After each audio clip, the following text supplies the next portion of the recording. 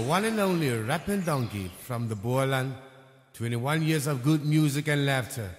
Congratulations. Looking forward to the next 21 years, Donkey. Happy birthday to you. Happy birthday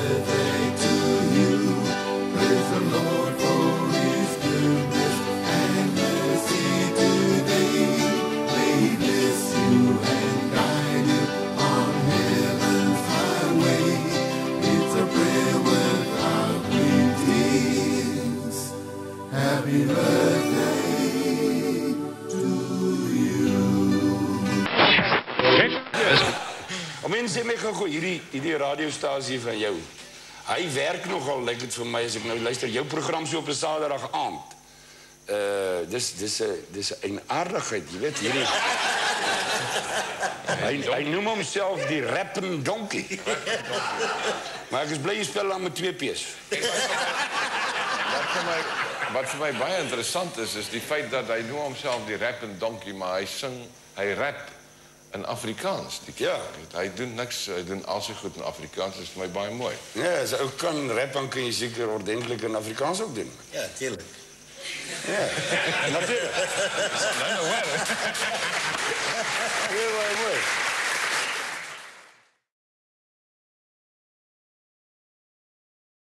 Jou lewensreis en jou musiekreis tot dusver, waar en hoe het alles begin?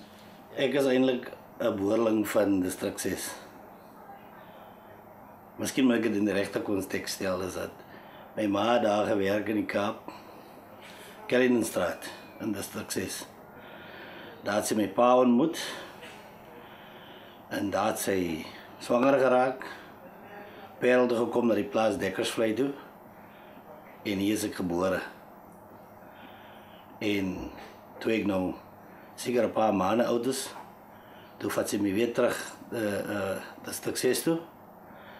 En daar het ek gewoon tot ek 3 jaar oud was. Toe my uh ma ernstig siek word. En sy moes toe nou vir 4 jaar in die hospitaal deurbring want die dokters van daai tyd kon nie vasstel wat die siekte was wat sy gehad het nie. En in die tussentyd terwyl sy in die hospitaal is, het my ouma my kom haal. En my ouma het my toe nog groot gemaak. En ek kan onthou as ons nou so gestap het, dit sy kaalvoet geweest, né? Dan loop ons nou.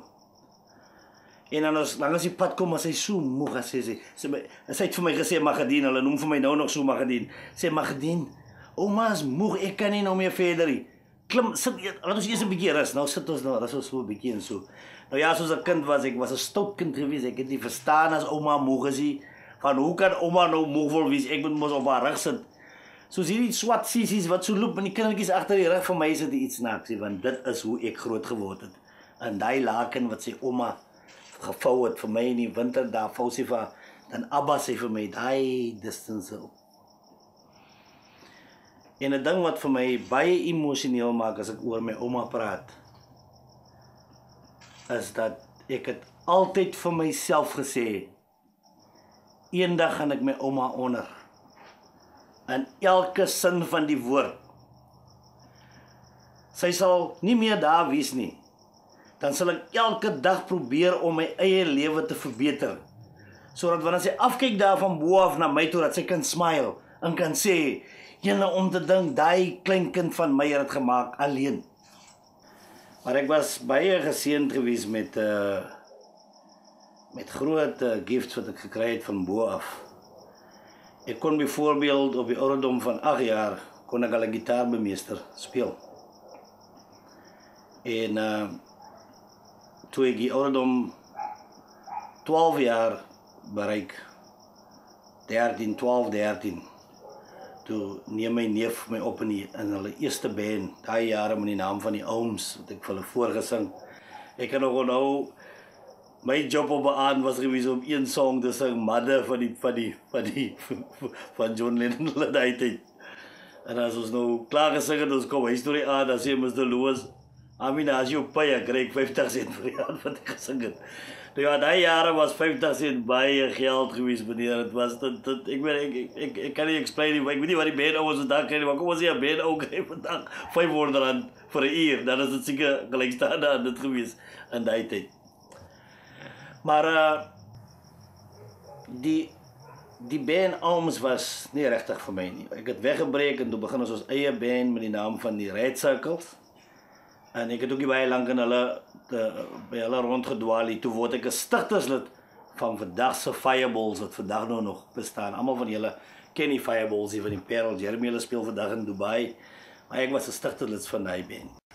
En toe as dit nou net mooi die jaar wat die DJ's begin inkom. Wat dit nou, jy weet, jy moet jy weet hoe jy weet wat so die DJ's was ons gewees. Daai die ons was die DJ's gewees. So jy vandag in die nights clubs met al die fancy nee. Ons is so klein, hy van jy gaan speel as jy agter ons jaar. Jy weet dat ons so paar vriende, jy en nou Piet en nou Klaas en Kobus en nou dinge laat, almal ons fans. En so het hy fanbase gebou. Later want het dit ons klomp followers gehad. En uh, in 1979 stuur Kanti Patel van die Galaxy vir Rudolf Paul se Pareldoom toe kom kyk vir vir jong talent. En ek sal nooit vergeet die Rudolf kom die dag aan, ek is daar leer daar in die hotel op 'n bank en slaap en ek ek kom daar aan, ek het so luister. Ek hoor die ouens sê jy jy's 'n goeie DJ en so aan. Wil jy nie kom deel in die Kaap uh, uh, aan 'n DJ kompetisie daar by die Galaxy nie? Ek sê jong Rudolf, maak jy nou 'n job met my of wat? Ek weet wat se kans het ek teen die klomp mense? Ons ons kom van die plaza, die mense gaan ons my uitlag man. Hy sê hoor hierso. Ons het twee of drie van jou shows het ons gefollow hierso wat ons sien wat jy weet daar is potensiaal definitief wil jy nie kom nie. Want ek het hom lank gevat voor ek nou finally besluit het hoor hierso neem. Ek gaan nou maar die kans vat en ek gaan En ons is iets soos ek dink ons is iets soos 40 50 DJs wat aan die kompetisie deelneem, maar nou oor 'n tydperk. Elke keer val op ons uit, val op ons uit. Maar elke keer as ek kom ons uit val as my naam daar. Tot ek tot by die laaste 4 is dan jo, ek is dan onder die laaste 4. En uh hierdie tipe aan wat ek nou die die groot aand in die Galaxy die jy weet die plek is uitgepak met die beste en die mooistes van Suid-Afrika. Is daar en die beste judges ek kan onhou hoe dit gelyk in daai plekkie aan? En ek en my vrou kom daar aan en ek sê vir haar Marie kom ek sê nou vir jou vanaand vir jou my vrou. As ek ons gaan nou loetjies trek. In die hoed lê vier nommers nommer 1 nommer 2 nommer 3 nommer 4 dis vir die vier van ons. Ek sê as ek my hand in daai hoed vanaand druk en ik trek nummer 3, dan win ik die competitie. Zij zei van mij, hoe, hoe, hoe bedoel je? Hoe ga je die competitie winnen? Ik zei, dan win ik die competitie. Zij zei, dan moet je vier, wat, hoe ga je het winnen? Ik zei, man, wie wat gaat gebeuren zo? Ik ga horen hoe die eerste twee ouwen speel. Dan ga ik kom. Dan ga ik zo spelen dat die laatste om moet bitter spelen zoals al drie om die competitie te winnen. Maar die eerste DJ wat wat wat wat wat wat wat wat fire, nee. Ek sê vir myself net, ek sê Amin, hoor jy gaan jy nie vanaand by hou nie, want die manier hoe die manne begin is van uit die boosterak uit. Maar ek kry beheer oor myself. Wat daai 3 DJ's nie gehad het nie. Nie een van hulle kon op daai stadium rap nie. Ek was die enigste ou van die 3, van die 4 wat kon rap. En daai is wat vir my daai kompetisie die het laat wen. En uh en in 1991 stig ons die Rappendonkie. Nou julle mense, ek wil julle iets vertel oor die Rappendonkie. Die drie kwart van my liedjies en veral die wat iets geraak het, is is ware gebeurtenisse wat gebeur het. Ek het Heidi geskrywe omdat daai jare hulle Heidi gesing Heidi Heidi da da da da di da en ek het gevoel daai Heidi pas nie by my mense se musiekstyl nie en ek het gedink hoor hierso kom kom ek gee kom ek gee die warm vibe Gamin, gooi vir ons gou-gou daai keerspel vir jou asseblief.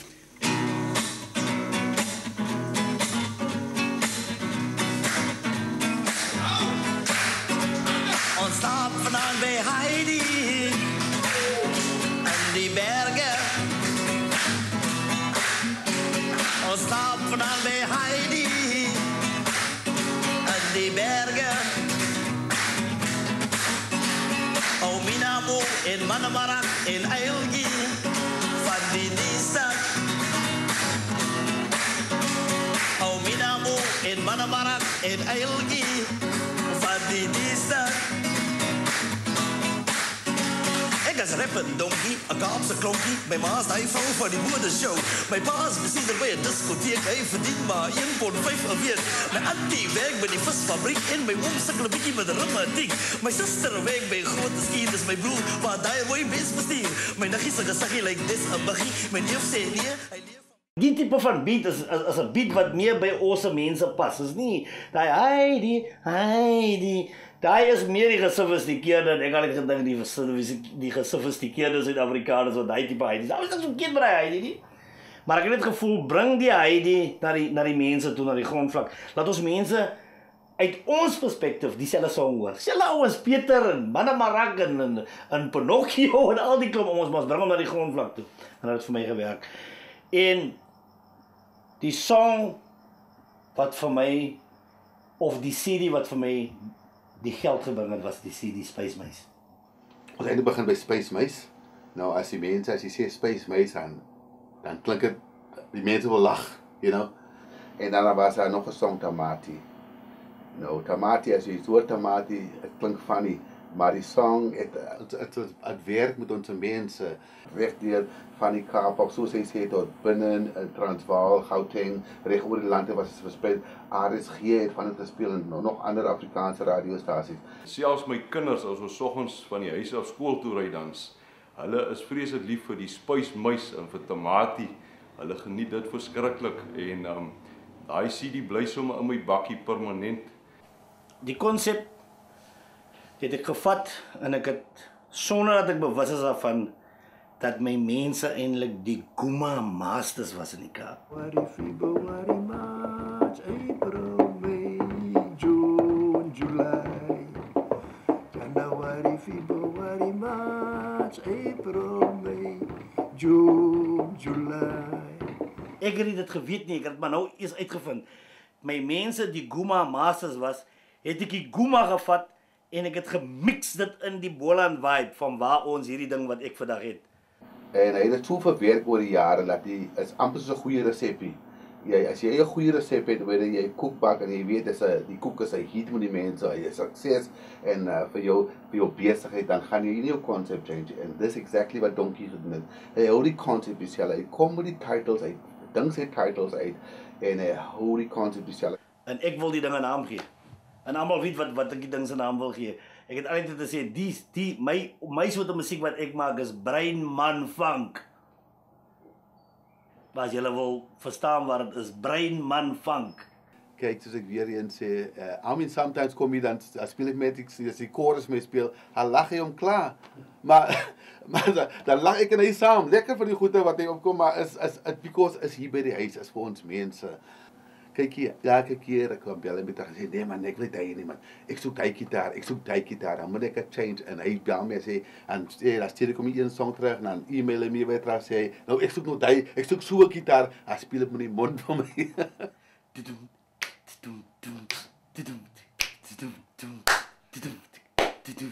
Wai!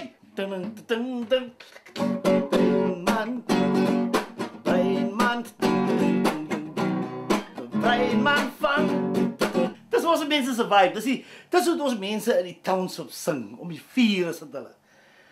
Navigat hulle bier is hulle daar, hulle braai vleis die mense sing. En dis wat ek vir ons mense gee. Sing. Ek is 'n gesinsman wat die drie kwart van my tyd as ek af is en niks doen nie, saam met my familie deur kwaliteit tyd saam met hulle. Ek is 'n man wat absoluut glo aan 'n familieband. En nou wil ek graag vanaand iets sê omtrent my nuutgevonde familie. Almal van julle het mos nou in die koerante gelees van die mense wat my opgespoor het na 55 jaar.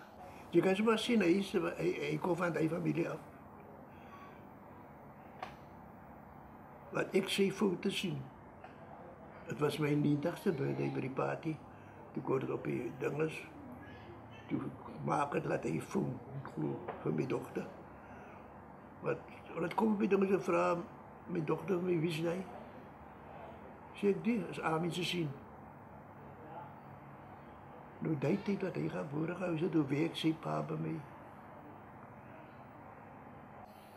Ek wil vir julle vanaand sê mense uit die uit die diepte van my hart het my niggie Subaida vir my geword as my eie suster.